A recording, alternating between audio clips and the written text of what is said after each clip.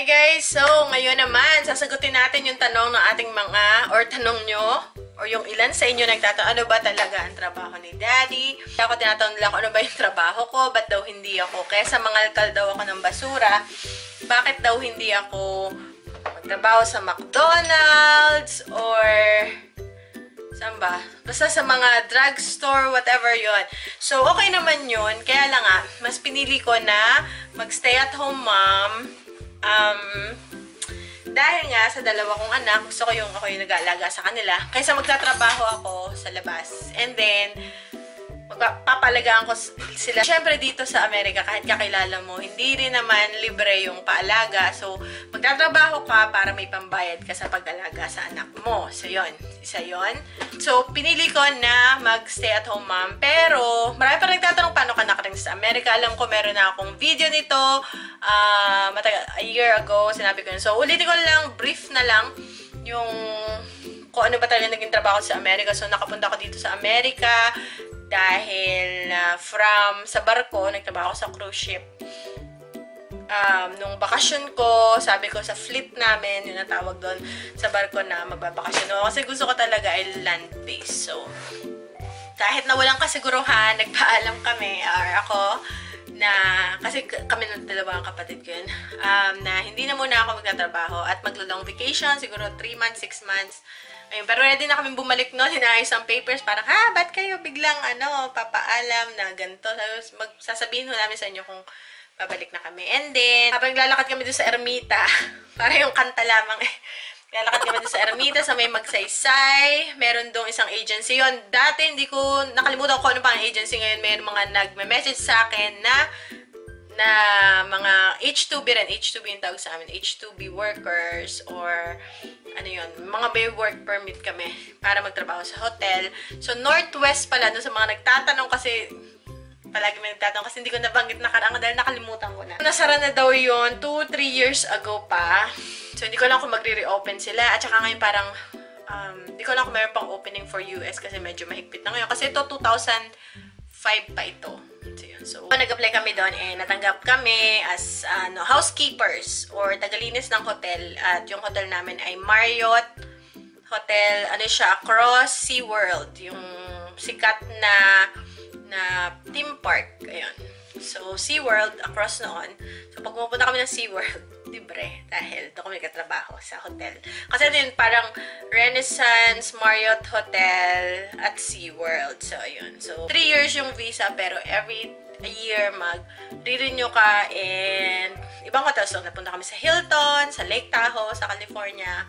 Tapos bumalik ng Florida, sa Hilton ulit. Napunta din sa America yun. Nag-apply kami nung time na yun. Since madali kami medyo na natanggap dahil mayroon na kaming mga US visa kasi nga sa barko, dumadaong na kami sa US waters. Though hindi naman siya talaga sa sa dito sa mga states dito pero ang tawag doon US water so magko-cross ka so kailangan mo ng US visa meron na rin kami mga Schengen visa or yung sa European visa mga ganon so yun, ang biyahe namin is Caribbean or US territory and also Europe yung Italy, Spain uh, ano pa baga Italy, mga uh, Portugal, mga ganon yung biyahe namin. 2018, parang naisip ko, may napanood akong video sa YouTube, sa YouTube, na, aba, aba, eh, ako natutuwa sa mga pinapanood ko sa YouTube dahil gardening, mahilig mag-garden, so dun nakakuha ng impormasyon. Napanood ko isang YouTuber sa Pilipinas. Nabanggit niya kung magkano yung kita niya sa YouTube. Ha? Ano ko, ha? May kita sa YouTube? Eh, parang dalawang taon na ako nanonood ng YouTube. Mga YouTube videos lang yung pinapanood ko. And, may kita pala sa YouTube. So, sabi ko, sige, nag-research-research ako kung ano man dapat gagawin, ganyan. So, doon ako nag-start. Ang first upload ko, 2018 yun. Sa mga bata pa yun, kung babalikan nyo yung pinakadulo ng ating videos, yun yung mga una kong upload. And then, ayun na, December 2018, doon kami nagumpisang mag dumpster diving. And yun na, nag-take off na yung ating um, channel. So, ayun. So, so, ang trabaho ko talaga ngayon ay YouTuber. And, hindi alam ng mga tao na, ba't, ano ka, hindi ka magtrabaho sa, ano, ganyan. Okay naman din yun kung may time pa ako na mag-YouTube ako magtrabaho. Pero, sa YouTube, hindi alam ng mga tao na pwede kang kumita sa YouTube. And, yun yung pinakatrabaho ko ngayon. Malaking bagay yung, yung YouTube Marami nagtatanong, ate, paano po nabago ng YouTube, ang inyong buhay, ano yung nagbago? Parang wala namang nabago. Ang meron lang, konting changes, yun. Siguro, ngayon, mas nakakabili na kami ng mga bagay na hindi namin nabibili before, or dati talaga, so super tight ako, ako yung nagbabudget sa pagkain, sa ganyan. So before talagang super tight yung aking, pero ngayon pero lumuluwag-luwag na ako, no? Pero before pa noon, before pa ako mag-YouTube, mahilig na ako sa mga organic and healthy stuff. Though, kumakain na kami sa fast food, sa restaurant, pero kalimitan pag nasa bahay talaga yun. Tsaka pag nag-shopping ako. So talagang tight, super tight yung budget. Kasi nga, ngayon medyo lumuluwag-luwag namin. Madami-dami na yung nabibili ko. Kumbaga, minsan salad, isa, medyo nakakadalawa na akong salad. Ganyan. Kasi nga sa tulong ng YouTube. So yun. Yun yung mga pagbabago. Hello. si daddy nag-fix ng bintana. Yung isa pa na yung bintana, nilagyan ng blinds. So yun, so may nagtanong kasi, ano pa yung magaganda yung mga tanong niya, ano po yung nabago ng YouTube ng sa buhay niyo? Parang ganon. yan, ano ba ang nabago ng YouTube? Ayun, wala mga bago. Mara in in a good way yun maraming nabago ang YouTube. Ayun nga nakita nyo medyo nakakapag-update na kami ng aming bahay ganun. Malaking tulong malaking tulong yung YouTube and natulong, natutulungan ko na yung ay nga pala before pa ako mag YouTube nag i-eBay selling ako yung pupunta kami sa sa Goodwill or sa Ukay yard sale to find you know good stuff to sell online. So isa pa yun. Kaya lang para ngayon hindi ko na pwedeng pagsabayin yung eBay and YouTube pero siguro pag nagkaroon ng time, mag-i-eBay ulit ako. And paisa-isa, kahit paisa-isa. Kasi yun talaga yung naging trabaho ko dito nung nung nagka-baby na kami, yun na. Hindi tumigil ako dun sa pag-housekeeping and nag, ano na ako, nag, uh, online selling kasi mas madali. Andito ka lang din sa bahay, ano, kumikita ka ng konti. Pero online selling or YouTube. So, pinili ko mag YouTube, pero gusto ko ibalik yun uh, para extra income din. So, ayun, sa mga nagtatanong. Bilis ko magsalita na ako. Tapos, ano pa nga yung isang tanong? Pag nakita ko ulit yung tanong, meron pa. So, yun lang. Medyo nakakatulong na ako lalo sa asawa ko. Sa financially. And hindi naman parang, hindi naman pa rin naman kami pusaya kahit nakikita ko ng konti sa YouTube. So, yun. Nakakatulong na tayo ng konti. So, malaking bagay talaga. Um, tapos, ngayon naman, tapos na yung sa akin kanuman trabaho kasi marami guys nagtatanong, ba't di ka na lang mag ano, umuwi ka na lang ng Pilipinas. May mga ganyan. May nagsasabi, mamamasura ka lingling pala. Umuwi ka lang sa Pilipinas. Sa Amerika, mura lang ang pagkain, $1 lang. Sa mga taga-Amerika, comment down below kung $1 lang ba ang mga pagkain dito sa Amerika. So, ayun. Tapos, so si Daddy, introduce niya ang trabaho niya. So, dadalhin kayo ni Daddy sa trabaho niya. Take it away, Daddy. I told them, that, so dadalhin kayo ni Daddy sa trabaho. They'll take, you'll take them. Sabi ko kay Daddy, Daddy will take you guys to his work. So makikita niyo kung ano ba talaga ang trabaho ni Daddy. Take it away, Daddy. Okay. Here you go. A few moments later. Hello, what's up? So many of you have been wondering what kind of work I do, what kind of employment. So I'm going to try to solve that mystery right now. Here's one clue. Hello, yes, I'm a cleaner, a janitor, cleaning technician, sanitation engineer, custodian, whatever you want to call it. This uh, medical building. They do uh, medical procedures and I clean it, get it ready for the next day so it'll be clean for business the next day. As far as education, I, education, I did take some college, but a home course, an art school home course. They sent me assignments and I did uh, paintings and drawings and sent them back. And so I completed that and uh, I think I uh, finished with a B plus maybe. And always interested in art and photography in school.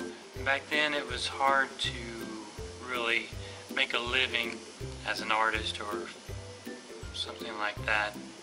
Today I think it would be a lot easier with all the um, technology, computers, electronics, uh, digital cameras, things like that. I think it would, and computer programs, all of that, I think it would be a little easier today to make a living at uh, arts and photography.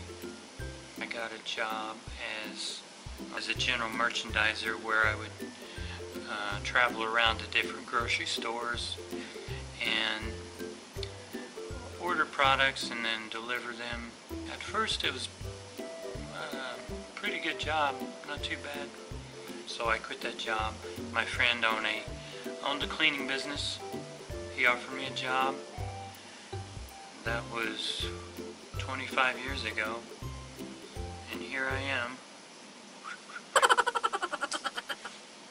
I duster and I know how to use it sometimes, maybe. And so, not a prestigious job, I'm, but, you know, great thing is I don't have to work long hours and I get to be with my wonderful family a lot, which is the greatest thing. And also, our, of course, our strong religious beliefs and activities that gives allows us time to do all of those. More to life than working all day long. I mean, working long hours, trying to acquire lots of money and material things. That's not my goal. To me, it doesn't matter whether you're a doctor or a janitor. You're both working, making money to make a living to take care of your family, so at the end of the day, it's all the same, really. Do some maintenance, as Mama Cheryl says, like screwdrivers. A lot of times, as I'm working, the uh, paper towel dispensers or soap dispensers be broken. I have to fix them. Sometimes an office chair um, armrest be loose or one day completely broken off, so I uh, took my screwdrivers and uh, put that back. And clock had fallen off the wall, so I put that back and just things, whatever I see, I try to do, you know, maintain stuff if I can. Um, if I can't, then I let other uh, someone else know about it so they can fix it. So I'll show you a few things that I do while at work.